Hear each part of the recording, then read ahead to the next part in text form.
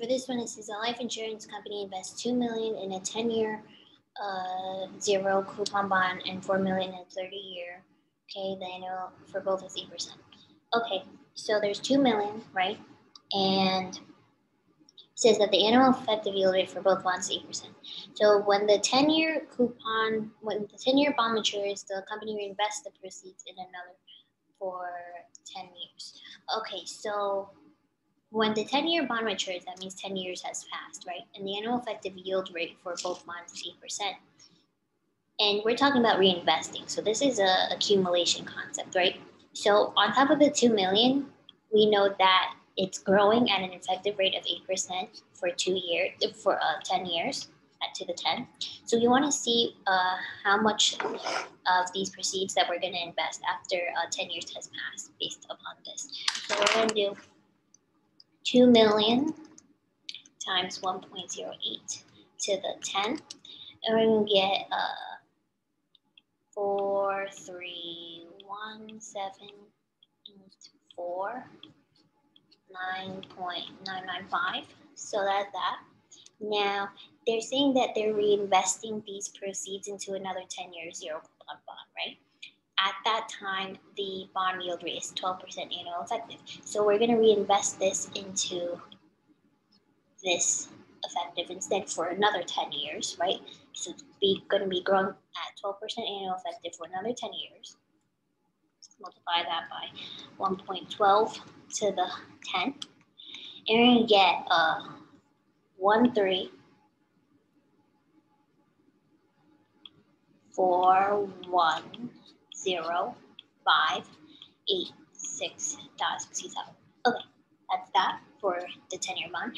After 20 years from the initial investment, the 30-year bond is sold to yield an annual effective rate of 10% to the buyer.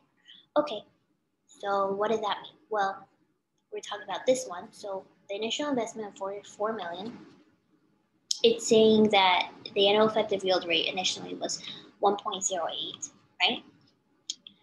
Uh, since it is a 30 year zero coupon bond.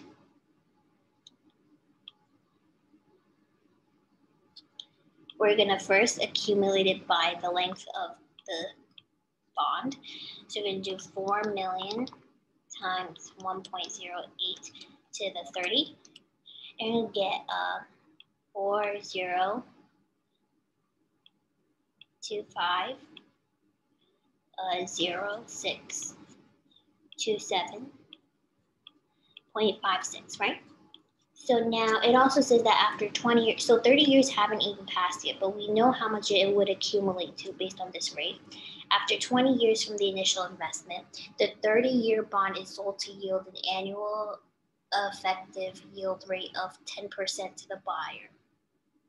The maturity of the second 10 year bond and the sale of the, okay, so that means that 20 years only passed, not 30, right? So if it's being sold to yield an annual effective rate of 10% to the buyer, we're going to have to discount this amount back 10 years by uh, 1.10%. Why? Because 30 years has not passed, only 20 years has.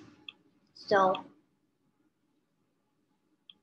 let's do this. So times 1.10 to the negative 10. Aaron get uh,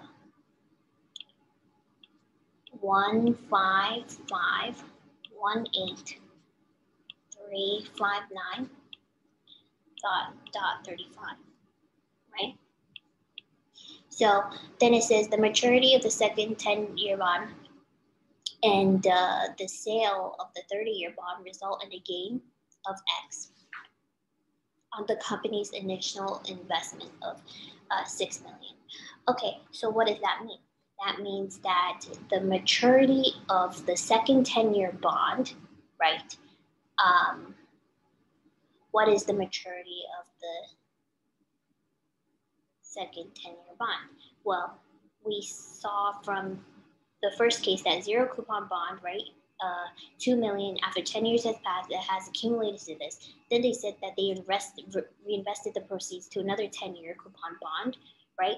And so once I solved this, it got to this amount, right? So this is the first amount that they're talking about for the maturity of a second 10-year bond.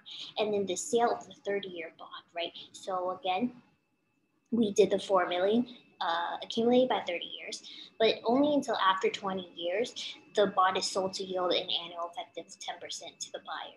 That means that uh, only 20 years has passed, so we have to discount this amount by 10 years back, right? So that, so then once we did that, we got this amount, right? So the maturity of this and the sale of this. So both of these amounts are gains because they result in a gain of X on the company's initial investment of six million. So this is a loss because we are making investment of six million. So what are we gonna have to do? We're gonna have to add these and subtract six to find what the gain of X is, right? So we're gonna do one three four one zero five eight six dot sixty seven plus one five five one eight three five. Uh,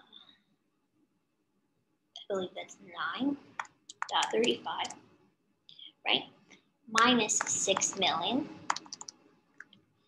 And we're to end up getting uh, 20, uh, 22 million 928 and then 946 and 2 cents. So which would be closest to answer uh, 23 million gain.